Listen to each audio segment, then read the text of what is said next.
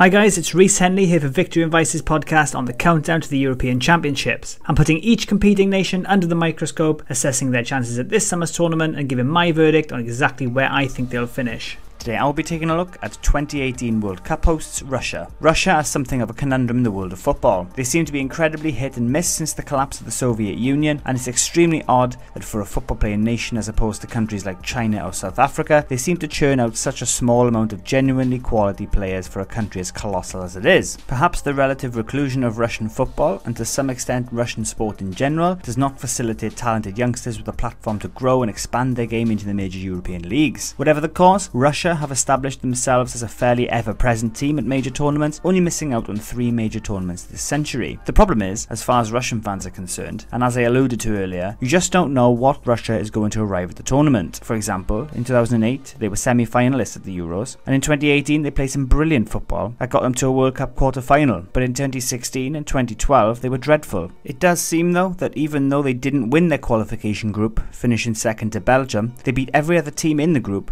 and indeed only dropped points to Belgium. That does seem to imply that the kind of form that we saw from Russia at the World Cup has been carried through, even though their Nations League form hasn't exactly been great. But there definitely is cause for optimism ahead of this summer's tournament. So who will be making the squad for Russia this summer? As I mentioned, Russian players are largely unknown to a lot of English football fans. Perhaps it is only really Yuri Zhirkov and Roman Pavlyuchenko that have really made it in the Prem over the last decade. That does not mean, however, that their squad is not laden with technically gifted players who can play. Unfortunately for Russia, Igor Akinfeev, who was never present for Russia in goal of the last generation, is likely not to be involved anymore, making way for Guilherme of Lokomotiv. And when he looks in front of him, he will see a fairly uninspiring defence. Players like Georgi Dzhikiya and Igor Smolnikov both ply their trade in the Russian league, but at fullback they do have some real quality. Whilst Yuri Zhirkov is now 37, and we may speculate to the extent at which he will play at the tournament, he is certainly a creative fullback with a wealth of experience. And at right back, Mario Fernandes, a classic Russian name, is one to watch. The big man up front for the Russians is Artem Dzyuba. The 6'5 monster from Zenit averages a goal better than 1 in 2 for Russia, and bagged 3 goals and 2 assists at the 2018 World Cup.